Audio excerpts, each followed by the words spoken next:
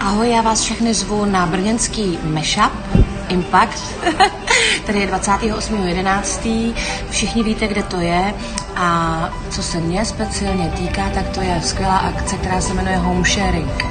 Tak kdybyste někdo chtěl pomáhat rodičům, kteří mají autistické děti, a potřebuji se taky někde odpočinout, aby se nezbláznili, tak se tam na této akci o tom dozvíte daleko víc. Takže vás tam zvu a těším se, že v obrovském počtu dorazíte. Čau, Mahulena, 28.11. Brno.